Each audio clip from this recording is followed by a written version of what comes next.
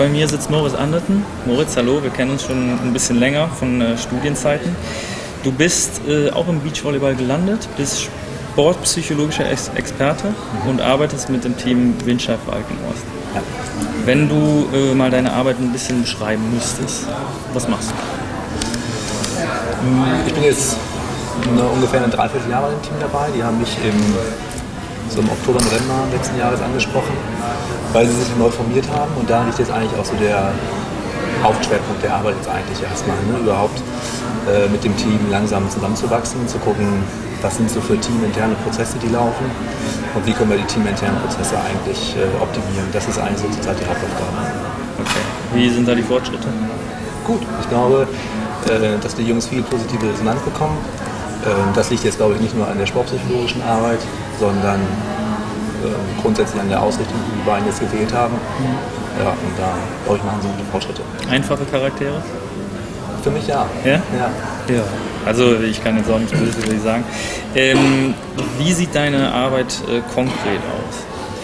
Ähm, konkret sieht es so aus, dass wir immer wieder Einheiten haben oder uns immer wieder treffen in Köln, Düsseldorf oder Solingen, wo die Jungs ja trainieren das heißt, das sind dann die Einheiten, so Trainingseinheiten, die ich dann mitbeobachte und dann einfach Gespräche stattfinden, ähm, dann aktuelle Themen besprochen werden, was liegt gerade so an dem Team. Ähm, das war jetzt vor allem die Phase, bevor die ganzen Turniere losgegangen sind. Dann hat es in Münster angefangen, als ich aufs Turnier nach Münster mitgefahren bin. zur EM mit nach Sardinien und jetzt halt hier in Berlin. Also ich kann nicht alles mitmachen, das ist klar, aber vier große Spots haben wir uns auf jeden Fall vorgenommen. Und ja, da geht es jetzt vor allem in diesem ersten Jahr erstmal darum, ganz viel Beobachtung zu machen Beobachtung zu machen, wie verhält sich so ein Team, was äh, kann ich so aus meiner sportpsychologischen Beobachtung heraus erkennen, wo ich vielleicht mentale Schwachstellen sehe oder man sagt ja vielleicht lieber Optimierungspotenzial sehe. Ja, und das in einer Abstimmung mit dem Andreas Köhler, ganz klar. Ähm, das heißt, es ist keine Sache, die ich irgendwo ganz alleine mache, sondern wir stimmen uns natürlich gemeinsam ab. Er hat natürlich sehr viel Erfahrung und ähm, das heißt, ich bin auch viel mit Andreas im Gespräch und im Kontakt, ob wir also die gleiche Vorstellung von Teamentwicklung haben. Wie wichtig ist Kommunikation für deinen Beruf? Ja, natürlich, also für meinen Beruf grundsätzlich natürlich sehr, sehr wichtig. Ähm, und ja, innerhalb des Teams natürlich auch ganz wichtig. Vor allen Dingen die Frage, was ist interne Kommunikation innerhalb des Teams, wie wollen wir da miteinander kommunizieren und was wird nach extern heraus kommuniziert. Und wenn nach extern kommuniziert wird, wie machen wir das? Hört sich schon ein bisschen auch nach einem Medienberater an? Nee, das jetzt überhaupt gar nicht. Okay. Nee, nee, das überhaupt gar nicht. Das, es geht jetzt einfach nur um Team-Internas dann. Okay. Genau. Das ist so die Thematik eigentlich. Medienberater, ich glaube, das könnte ganz gut. ja. ja, das stimmt wohl. Ähm, keine weiteren Hilfestellungen.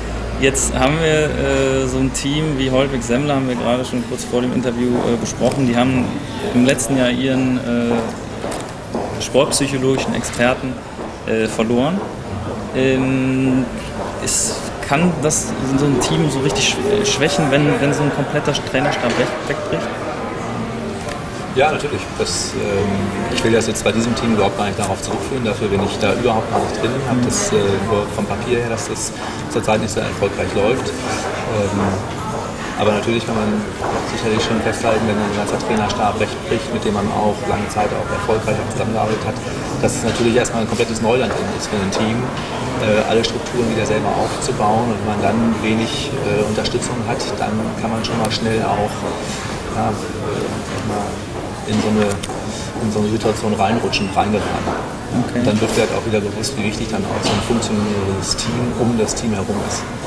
Okay. Gibt es da gewisse Methoden, nach denen du arbeitest oder wie erlernt man deine Fähigkeiten? Ähm, ja gut, es gibt natürlich äh, Basis, äh, Basiswissen irgendwie, was man anwenden kann. Das ist vor allem also im Nachwuchsleistungssport einfacher, so im Profisport äh, da geht es natürlich auch schon um viel Feingefühl. Ich meine, ich muss natürlich wissen, was ich mache und an welchen Stellschrauben ich drehen will, kommen dann einfach viele, viele Kompetenzen aus, der, aus, dem, aus dem klassischen Coaching heraus. Einfach. Was sind die Schwierigkeiten bei deinem Job? Die Schwierigkeiten bei meinem Job sind, ähm, ja, einmal diese ständig wechselnden Bedingungen vielleicht, sich darauf schnell einstellen zu können. Ne? Ähm, keine festen Zeitpläne zu haben oder relativ vage Zeitpläne zu haben, sich schnell auf äh, Gegner einstellen zu können, sich schnell in die Spieler hinein zu versetzen, wenn jetzt ein, sagen wir, das gegnerische Team ähm, bekannt wird, ähm, wie, was passieren denn für mentale Prozesse, ja, mag ich den Gegner, mag ich den Gegner nicht, was habe ich für Vorerfahrungen mit dem Gegner? Und sich dann schnell in das eigene Team hinein zu versetzen und zu gucken, äh, stimmt die mentale Einstellung dann vor dem Match und dann auch im Match vor allen Dingen. Das, äh, da muss man dicht dran sein, da muss man ein Gespür für entwickeln im Laufe der Zeit, äh, um dann halt schnellstmöglich auf so ein Turnier reagieren zu können.